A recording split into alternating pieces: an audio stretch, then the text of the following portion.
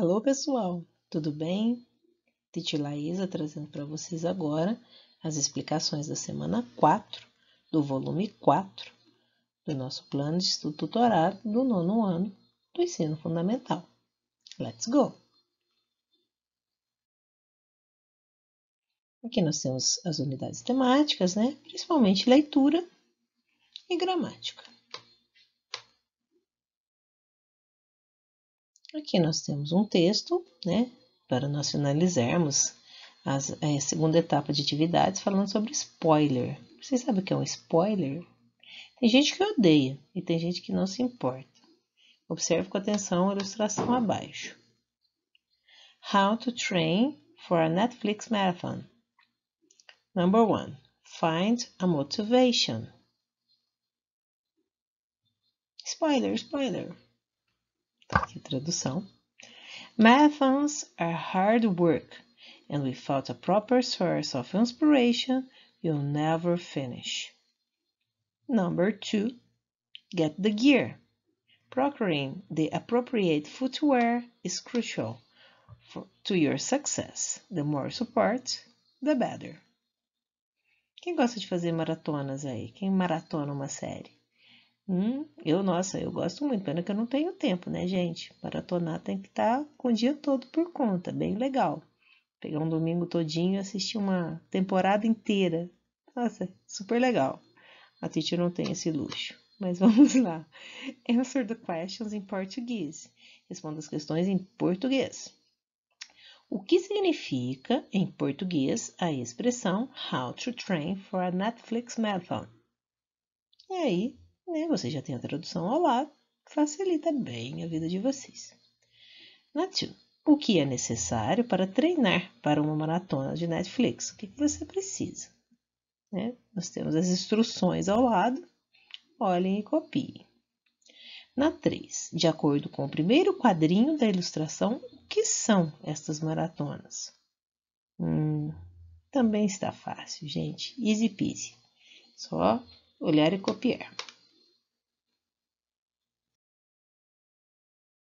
Number 4. O que é preciso ter para terminar uma maratona? É. Olhem na apostila ou voltem o vídeo para vocês terem essa informação. Na 5. De acordo com o segundo quadrinho da ilustração, o que é preciso ter para alcançar sucesso na maratona? é, na minha opinião, não é só aquilo não. Para ter sucesso na maratona, você tem que ter um monte de glosices assim do lado, né? Pipoca, chocolate, tem que ter o um acompanhamento de comida do lado, assim, para ser bem legal. Eu acho que ficou faltando informação nessas instruções, mas é só uma opinião. O que vocês acham?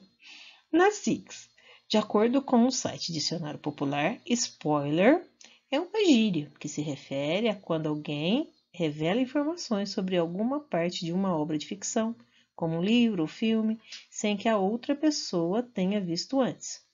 Essa palavra tem origem no verbo inglês spoil, que significa estragar. Também significa o menino que é, assim, muito mimado, tá, gente? Spoiled. Mas vamos lá.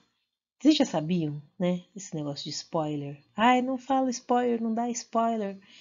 Spoiler é a pessoa que, vamos dizer, tira a graça de tudo, né? Conta o final antes de você assistir a, o filme ou a série ou antes de você ler um livro. Tem gente que gosta de dar spoilers, tem gente que não se importa. Olha a pergunta aqui. Tendo em vista essa definição, você se importa quando alguém lhe dá spoilers sobre séries ou filmes? E por quê?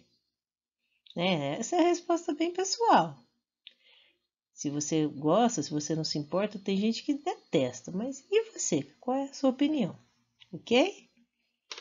Aqui eu trouxe alguns exemplos de séries. Eu, tem várias, né, gente? São muitas. Eu trouxe algumas do Netflix, só como, vamos dizer, sugestão. Para vocês, eu tenho três sugestões bem legais. Stranger Things, que é super legal, eu gosto muito. Heartland, eu acho que não é feita, não é uma produção da Netflix, mas é muito legal, tá? É, eu gosto muito dessa série, já assisti ela todinha. Acho que são 12 temporadas, mas foi bem legal. E, claro, né? Anne with an E. Uma excelente série também, muito boa para vocês assistirem. Fica as dicas da teacher agora de séries para maratonar, ok? Não só com sapatos confortáveis, mas com uma bacia grandona de pipoca do lado. Na selva, identifique, sublinhando ou destacando na tirinha da atividade desta quarta semana as palavras abaixo. O que, vocês têm que identificar, gente? As palavras, né? Marathon, finish, you, appropriate. Depois, vocês têm que identificar a classe gramatical dessas palavras, né? É só relacionar as colunas. Vai ter um pronome, pronoun, vai ter um adjetivo, adjective, vai ter um substantivo, noun, e vai ter um verbo. Para quem tiver dúvidas sobre classes de palavras, a Titi vai deixar no link, o link aqui na descrição desse vídeo, para vocês vídeos extras que eu fiz explicando um pouquinho mais sobre classes de palavras, principalmente de pronomes, de verbos e de substantivos, ok? E aí fica fácil você adivinhar o adjetivo, porque você já vai saber todos os outros três e você faz a eliminação. Mas eu vou fazer um vídeo de adjetivos também. Mas o adjetivo vocês já sabem, né, gente? É a qualidade. E a qualidade de vocês é estudarem bastante, ok? E a gente se vê na semana que vem. Bye, bye.